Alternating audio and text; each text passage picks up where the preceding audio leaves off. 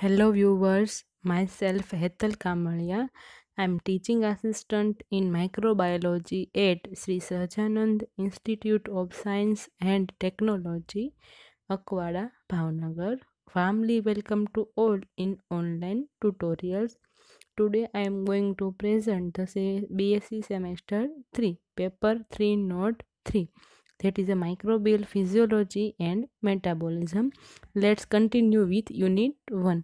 આપણે આગળના બે લેક્ચરમાં જોઈ ગયા કે કોઈ પણ ન્યુટ્રિશન છે એ બેક્ટેરિયલ સેલની અંદર એન્ટર કઈ રીતે થાય છે બાય અલગ અલગ ways that's recall about lecture that is a three way nutrition uptake by three way that is a passive diffusion facilitated diffusion and active transport now in active transport there is a different four pattern is observed. First છે role of binding protein next one છે secondary active transport. Secondary active transport is further divided by three type. That is a symport uniport and antiport third type is a phosphate bond linked transport and fourth one of the active tr- transport that is a group translocation. And group translocation is further divided into the three types. First one is phosphotransferase system means pts system for the transfer of sugar molecules. Next acetyl coa synthetase system for the transport transfer of fatty acid. And third one is a phosphoribosyl transferase system for the transfer of nitrogen bases that is a purine and pyrimidine. Now move on to the next uh, topic that is a entry of substrate that cannot enter into the cell. Generally જે macromolecule છે that is a macromolecule molecules and highly charged molecule. And highly charge molecule છે કે જે generally તમારા cell through અંદર enter થઈ શકતા નથી. મેક્રો મોલેક્યુલ છે because of large size that can not enter into the cell and highly charge molecule એની પાસે ચાર્જ છે એ બહુ વધારે પડતો છે. જેના કારણે સેલ મેમ્બ્રેન છે એને પાસ કરી શકતા નથી. That macromolecules as well as highly charge molecule these two are impermeable in by cell membrane એટલે કે સેલ મેમ્બ્રેન થ્રુ સેલમાં પાસ આઉટ થઈ શકતા નથી. તો એમના પાસ આઉટ માટે સેલ માટે કયા એવા મિકેનિઝમ છે કે જે જનરલી સેલ્સ છે એને યુટિલાઇઝ કરી શકે છે?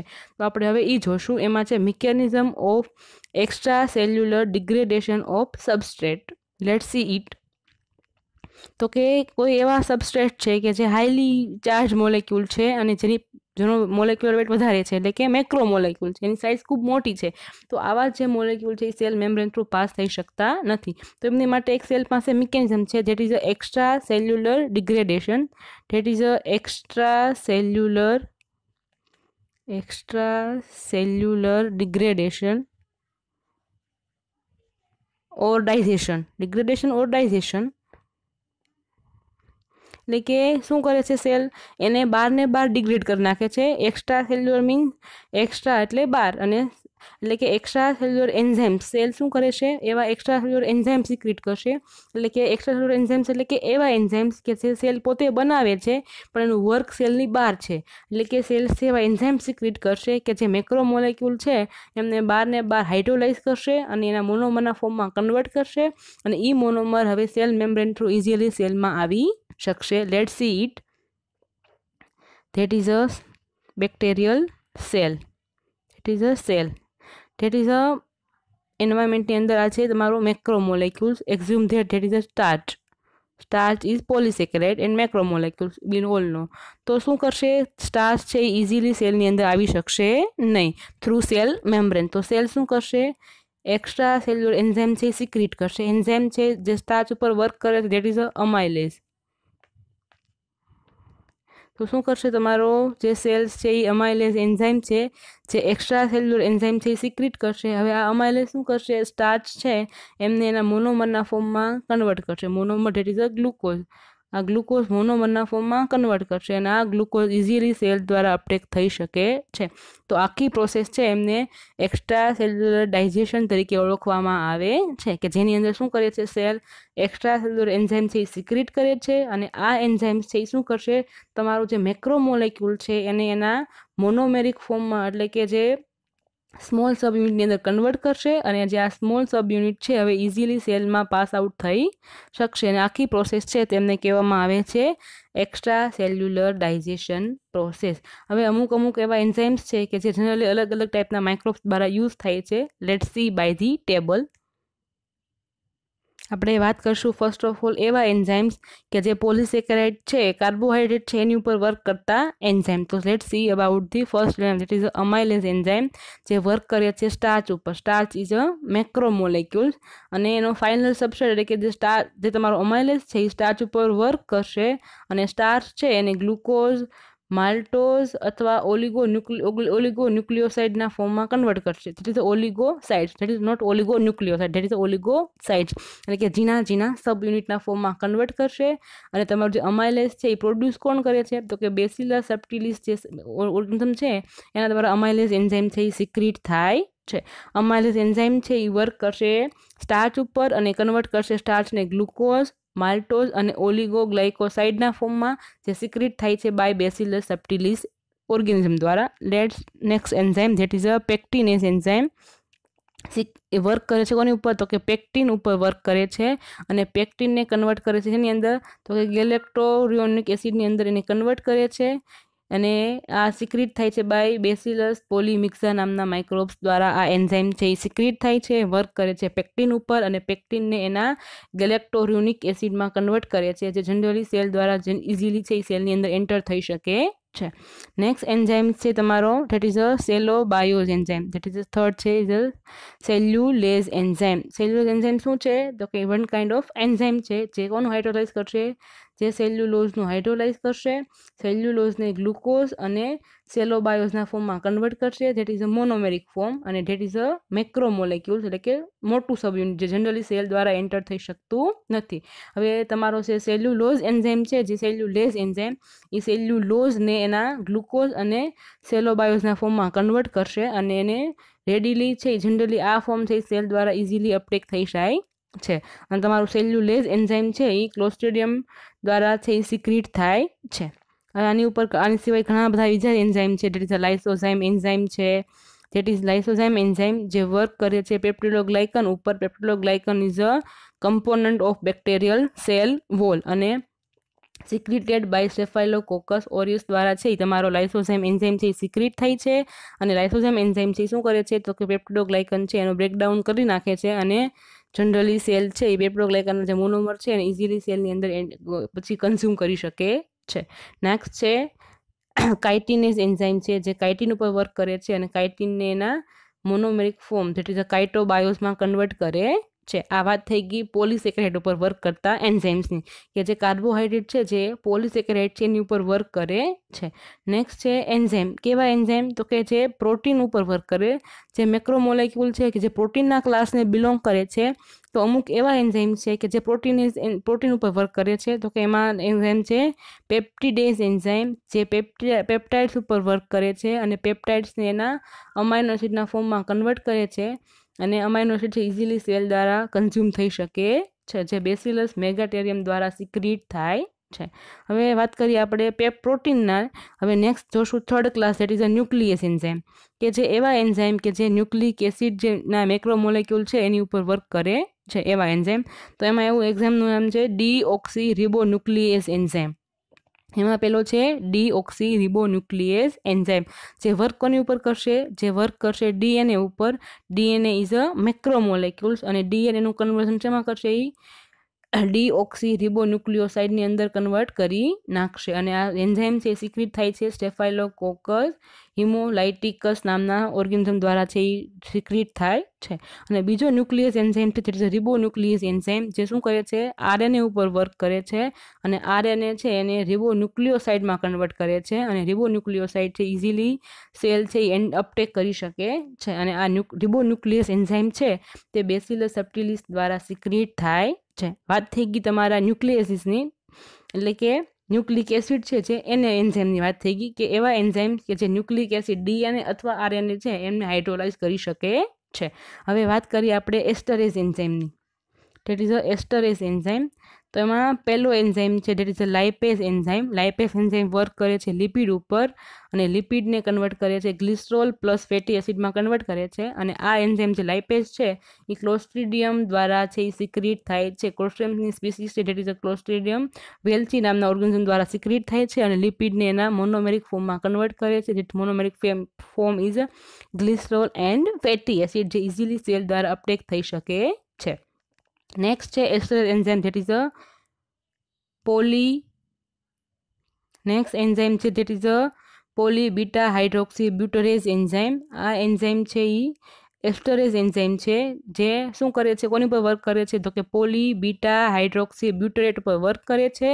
ઇઝ અ મેક્રોમોલેક્યુલ્સ અને એને પોલી બીટા હાઇડ્રોક્સી બ્યુટરેટ છે, એમને બીટા હાઇડ્રોક્સી બ્યુટરેટની અંદર કન્વર્ટ કરે છે અને આ એન્ઝાઇમ છે સ્યુડોમોનાસની સ્પીસીસ દ્વારા જનરલી સિક્રિટ થાય. છે. આપણે જોયું કે આવા, આ એન્ઝાઇમ કેવા છે બધા? એક્સ્ટ્રા સેલ્યુલર એન્ઝાઇમ્સ છે. એટલે કે સેલ દ્વારા બને તો છે, પણ એનું ફંક્શન સેલની બહાર છે. એટલે એને નામ આપ્યું છે એક્સ્ટ્રા સેલ્યુલર એન્ઝાઇમ. અને આ બધા જ એન્ઝાઇમ શું છે? સેલ દ્વારા સિક્રિટ થાય છે. સિક્રિટ થઈને સેલની બહાર આવે છે. અને સેલની બહાર આવી અને કોઈ પણ મેક્રોમોલેક્યુલ છે, એમનું ડિગ્રેડેશન કરે છે અથવા એને હાઇડ્રોલાઇઝ કરે છે અને એના સિમ્પલ ફોર્મમાં એટલે કે મોનોમેરિક ફોર્મમાં કન્વર્ટ કરે છે અને આ મોનોમેરિક ફોર્મ છે ઇઝીલી સેલ છે યુટિલાઇઝ કરી શકે છે. ફોર એનર્જી અથવા ન્યુટ્રિશન સોર્સ તરીકે. આપણે જે આગળના બધા જ એન્ઝાઇમ્સ છે, જે હાઇડ્રોલાઇઝ કરે છે, જે એન્ઝાઇમ એની વાત કરી, તો આ બધા જ એન્ઝાઇમ્સ છે, એનું રેગ્યુલેશન છે, એ થાય છે બાય કેટાબોલિક રિપ્રેશન દ્વારા. એટલે કે કેટાબોલિક અથવા કેટાબોલાઇટ રિપ્રેશન તો આ બધા જ એન્ઝાઇમ છે, એ બને છે કઈ રીતે? અથવા સિન્થેસિસ ક્યારે થાય છે? તો કે એનું બધું જ રેગ્યુલેશન છે, એ કેટાબોલાઇટ રિપ્રેશનની મિકેનિઝમ દ્વારા છે, એ થાય છે. તો ફર્સ્ટ ઓફ ઓલ આપણે જાણવું જરૂર છે કે વોટ ઇઝ અ કેટાબોલિક રિપ્રેશન તો કે કેટાબોલિક રિપ્રેશન એટલે કે જ્યારે જે કોઈ પણ જે સબસ્ટન્સ છે કે જે, જેનું સેલને યુટિલાઇઝેશન કરવાનું છે, એની પ્રેઝન્સ જ્યાં સુધી હશે સેલમાં ત્યાં સુધી છે એના એન્ઝાઇમ સિન્થેસાઇઝ થશે નહીં.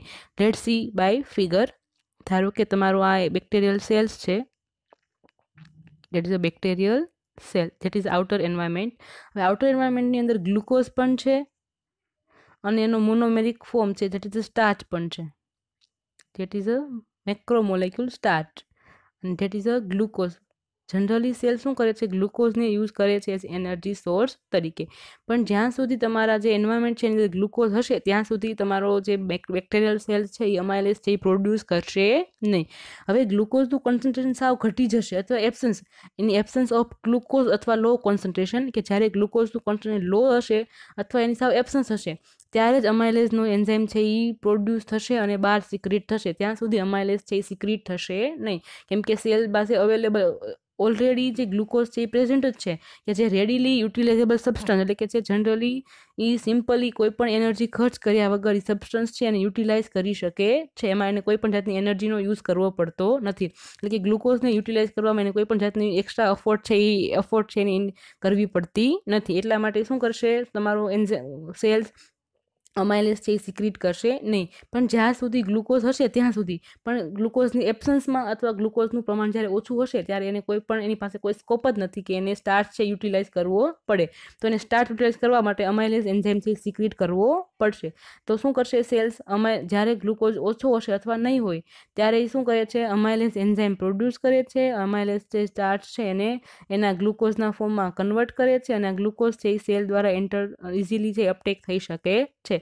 તો આ ટાઈપનું જે રેગ્યુલેશન છે એમને કેટાબોલાઇટ રિપ્રેશન તરીકે ઓળખવામાં આવે છે, એટલે કે બધા જ મોસ્ટ ઓફ જે હાઇડ્રોલાઇટિક એન્ઝાઇમ છે, એનું રેગ્યુલેશન છે આ ટાઈપથી છે, એ થાય છે. આ વાત થઈ ગઈ આપણે મેક્રો મોલેક્યુલ્સની એટલે કે જે મોટા મોલેક્યુલ્સ કે જે સેલ દ્વારા યુટિલાઇઝ થઈ શકતા નથી. હવે વાત કરીએ આપણે ચાર્જ મોલેક્યુલ્સની કે જેની પાસે ખૂબ જ પ્રમાણમાં ચાર્જ છે.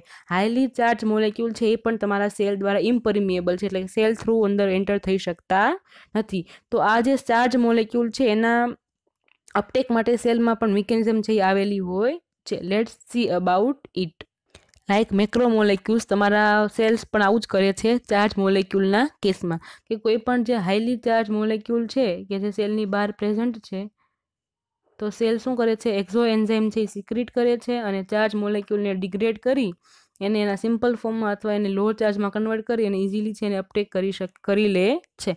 તો ચાર્જ મોલેક્યુલના કેસમાં પણ એન્ઝાઇમ છે, એ કોઈ પણ સેલ છે એક્ઝો એન્ઝાઇમ સિક્રિટ કરે છે અને ચાર્જ મોલેક્યુલ છે એને ડિગ્રેડેશન કરી નાખે છે અથવા એને એમાં મોડિફિકેશન કરી નાખે છે અને હાઈલી ચાર્જ મોલેક્યુલ છે એને ઇઝીલી અવેલેબલ ફોર્મમાં કન્વર્ટ કરી નાખે છે, જે સેલ દ્વારા ઇઝીલી છે યુટિલાઇઝ થઈ શકે છે.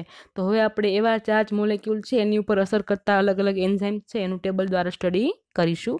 Let see it let start about the enzymes એવા એન્ઝાઇમ્સ કે જે હાઈલી ચાર્જ મોલેક્યુલ ઉપર અસર કરે છે. તો કે એમાં પહેલો enzyme that is the ribonuclease one that is a work on the RNA and hydrolyze the RNA શું કરે છે? રિબો રિબોન્યુક્લિયસ એન્ઝાઇમ વન છે. એ આરએનએ છે ઉપર વર્ક કરે છે અને આરએનએ આરએનના મોલેક્યુલને હાઇડ્રોલાઇઝ કરે એટલે એને બ્રેકડાઉન કરવાનું કામ કરે છે. નેક્સ્ટ એન્ઝાઇમ છે that is a DNA endonuclease endonuclease શું કરે છે? That is a cleave the DNA internally એટલે કે એન્ડો એન્ડો વર્ડ શું કહે છે? અંદરથી. ન્યુક્લિયસ મીન્સ ન્યુક્લિયસ એટલે કે ન્યુક્લિક એસિડ. આપણને ખબર છે કે ન્યુક્લિક એસિડ છે એ બે ટાઈપના હોય, ડીએનએ અથવા આરએનએ. તો ન્યુક્લિયસ શું કરે છે? ન્યુક્લિક એસિડ છે એને ડિગ્રેડ કરવાનું કામ કરે છે. અહીંયા વાત થઈ કોની? તો કે એન્ડોન્યુક્લિયસની તો કે એન્ડો ન્યુક્લિયસ શું કરે છે? તો કે ન્યુક્લિક એસિડ છે એને અંદરથી બ્રેક કરવાનું કામ કરે છે. અંદરના બોન્ડને બ્રેક કરવાનું કામ કરે છે. પણ અહીંયા વાત થાય છે કોની? તો કે ડીએનએ એન્ડોન્યુક્લિયસની તો કે ડીએનએ એન્ડોન્યુક્લિયસ શું કરશે? તો કે ડીએનએ છે એને અંદરથી ક્લીવ કરવાનું કામ છે એ કરે છે. નેક્સ્ટ એન્ઝાઇમ છે that is alkaline phosphatase enzyme જે શું કરે છે? Removal of phosphate group from the organic compound કોઈ પણ ઓર્ગેનિક કમ્પાઉન્ડ છે, એમાંથી ફોસ્ફેટ ગ્રુપને રિમૂવ કરવાનું કામ કરે છે. Next enzyme that is a five prime nucleotide enzyme જે શું કરે છે? Convert the nucleotide to nucleoside nucleotide છે, એમને ન્યુક્લિયોસાઇડમાં કન્વર્ટ કરવાનું કામ કરે છે. નેક્સ્ટ છે that is acid hexose phosphate enzyme જે શું કરે છે? Remove the phosphate group from the sugar phosphate એટલે કે શુગર ફોસ્ફેટમાંથી ફોસ્ફેટ ગ્રુપને રિમૂવ કરવાનું કામ કરે છે. નેક્સ્ટ એન્ઝાઇમ છે એસિડ ફોસ્ફેટેઝ એન્ઝાઇમ. શું કરે છે? Remove the phosphate group from the organic compound organic કમ્પાઉન્ડમાંથી phosphate ગ્રુપને રિમૂવ કરવાનું કામ કરે છે. નેક્સ્ટ એન્ઝાઇમ છે ઇઝ સાયક્લિક ફોસ્ફોડાયસ્ટરેઝ એન્ઝાઇમ જે શું કરે છે? Convert the new ribonucleoside two prime three prime cyclic phosphate to nucleoside nucleoside છે, એની ન્યુક્લિયો ટુ પ્રાઇમ છે, એમને થ્રી પ્રાઇમ સાયક્લિક ફોસ્ફેટેઝમાં કન્વર્ટ કરવાનું છે એ કામ કરે છે. નેક્સ્ટ છે પેનિસિલિનેઝ એન્ઝાઇમ આ પેનિસિલિનેઝ એન્ઝાઇમ શું કરે છે? Hydrolyze and thereby inactivate the penicillin penicillin is antibiotic secreted by the fungal cell જે શું કરે છે, કોઈ પણ સેલ્સ છે, એ સિક્રિટ કરે છે અને એની બાજુના જે સેલ્સ છે એને ક્લીલ કરવા માટે છે યુઝ થાય છે that is one kind of antibiotic તો તમારો જે પેનિસિલિનેઝ એન્ઝાઇમ છે શું કરે છે, એ પેનિસિલિન જે એન્ટીબાયોટિક છે એને ડિગ્રેડ કરવાનું કામ કરે છે. Let see by the figure તો કે એ તમારો આખો એન્ઝાઇમ છે જે basic structure of penicillin penicillin શું છે? એન્ટીબાયોટિક છે, જે માઇક્રોબ્સને ક્લીલ કરવાનું કામ કરે છે. હવે જે પેનિસિલિન છે, એનું મેઇન એક્શન છે બેક્ટેરિયાને કિલ કરવાનું. અને આ એક્શન કોના માટે જવાબદાર? આ એક્શનમાં જે એનું બીટા લેક્ટામ રિંગનો જે પોર્શન છે એ મેઇન છે. આ આ ભાગ છે, એ મેઇન પાર્ટિસિપેટ કરે છે બેક્ટેરિયાને કિલ કરવા માટે. તો જનરલી ધારો કે આપણે ભણી, જોઈએ, તો કે ધારો કે આ તમારો એક બેક્ટેરિયલનો સેલ છે અને આ બીજો સેલ છે. આ બેસિલસનો સેલ છે, ધારો કે, અને આ છે ઇકોલાઈનો સેલ તો આ સેલ છે જે બેસિલસ એ શું કરે છે? પેનિસિલિન એન્ટીબાયોટિક છે સિક્રિટ કરે છે જે જનરલી શું કરે છે, તમારા ઇકોલાઇનને ક્લીલ કરવાનું કામ કરે છે. પણ જનરલી તમારા ઇકોલાઈ છે એની પાસે શું આવેલું છે? તો કે પેનિસિલિનેઝ એન્ઝાઇમ આવેલો છે. That is a penicillinase enzyme તો આ એન્ઝાઇમ શું કરશે? પેનિસિલિનેઝ એન્ઝાઇમ ધારો કે તમારો જે સેલ છે, આ બેસિલસનો સેલ છે, અને આ છે ઇકોલાઇનો સેલ હવે બેસિલસ શું કરે છે? પેનિસિલિન એન્ટીબાયોટિક છે, એ સિક્રિટ કરે છે, જેના કારણે ઇકોલાઈ છે, એ કિલ થઈ જશે. પણ જનરલી ઇકોલાઈ પાસે જો પેનિસિલિનની એન્ઝાઇમ હશે, તો એ શું કરશે? પેનિસિલિન એન્ટીબાયોટિકને ડિગ્રેડ કરી નાખશે, જેના કારણે એ પેનિસિલિન એના પર કોઈ પણ જાતની અસર થશે નહીં. તો તમારું જે પેનિસિલિન એન્ઝાઇમ છે એ શું કરે છે? તમારા પેનિસિલિનમાંથી જે બીટા લેક્ટામ રિંગ છે એને ડિસ્ટર્બ કરી નાખે છે. જેના કારણે પેનિસિલિન એન્ટીબાયોટિક હવે ફર્ધર છે, એ કોઈ ઉપર અસર કરી શકશે નહીં. અને જનરલી કોઈ પણ સેલ ઉપર એની અસર થશે નહીં.